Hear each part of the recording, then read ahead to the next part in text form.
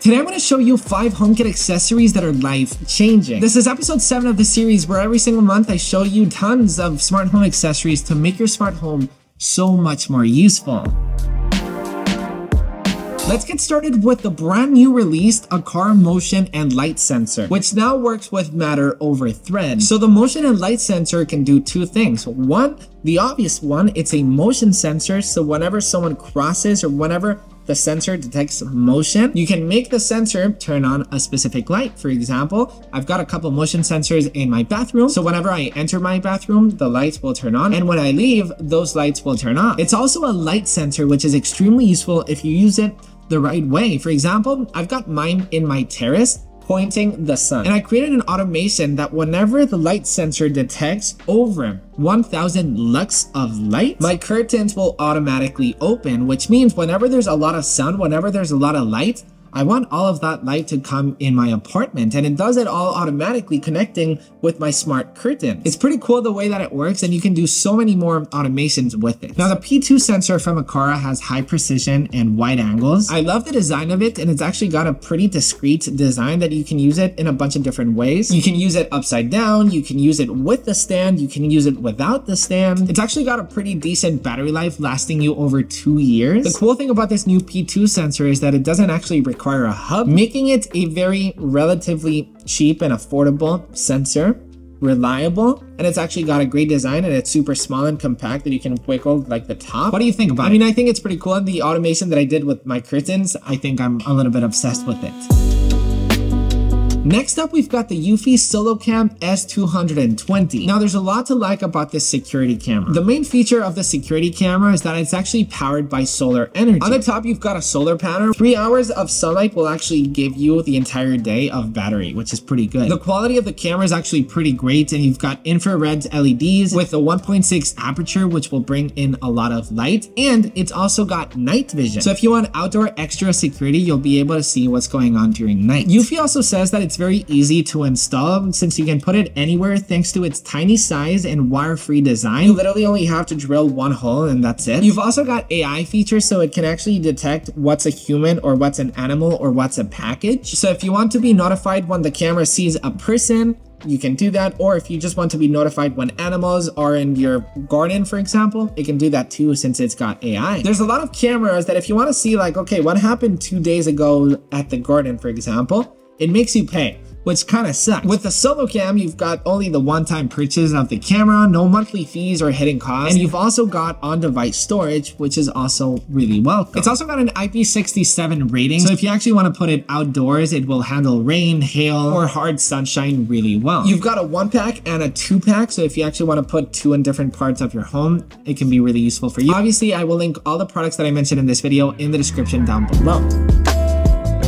Next up is the Honeywell Lyric T6, which is a smart heating system that is obviously compatible with HomeKit. It allows you to control all of your heating system within the Home app so you can turn up or turn down the heat right from your home wherever you want in the world. And that's the power of it. For example, let's say you're at work and it's a very cold day and you wanna turn on the heat like this when you're at home, it's already we have a smart heating system in our summer house. And for example, my mom always hated that when we arrived at the summer home, it was always cold. And then it took like two hours to heat our entire home. Now, whenever we arrive at the summer home, we basically turn it on like this, we arrive to a warm home. And you can do a lot with automations. For example, if you've got door and window sensors, whenever a window is opened, the heating will stop, like there's there's no energy wasted. Or for example, if you've got a weather station, or a temperature sensor, you can tell the T6, hey, whenever our home reaches X amount of degrees, make sure to turn up the thermostat to a certain degree. That's the power of a smart heating system, how everything just kind of works together. What I like the most about the Honeywell T6, even though it's kind of old, I decided to buy it last year because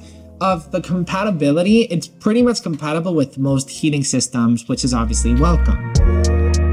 Next up is another security camera, this time from Aqara, the Camera E1, which brings smart vision. We've actually got ours at the studio, which basically brings us an extra sense of security here at the office. It offers 360 degree viewing. You can also track a certain person. It can follow that person around. You've got a 2K sensor with a wide angle lens. It's also got AI features, the features that I mentioned that it detects when it detects a human, a person, or a package. You've also got night vision and a feature that we often use here at the studio is the two-way audio. So not only you can listen and you can hear what's going on where the camera is actually located, but you can actually speak to whoever's inside of the studio. So for example, when somebody enters our studio, we can actually interact with the person. Hey, has the package arrived yet? No? Okay, bye-bye. So it's basically like having a phone call with the webcam itself. There's also privacy mode. So if we're at the studio and we don't want like, you know, nobody looking at what we're doing, we can basically just turn it around with privacy mode and it will look at the wall, for example. I honestly like the design a lot of it. It's kind of like this ball that kind of twists. It obviously has that 360 degree angle so you can see and follow a person around.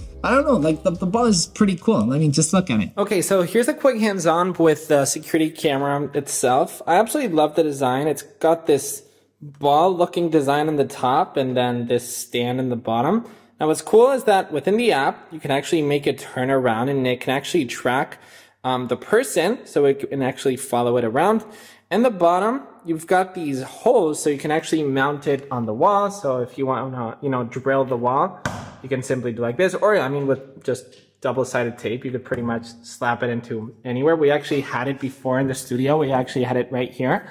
But at the end, you know, it just sits um, right there. USB-C is how you power it. You've got the reset button right here. That's pretty much it. It's pretty plasticky and pretty lightweight if I'd have to complain something about it, but I mean, it's fine. I mean, it, it looks great. I like it.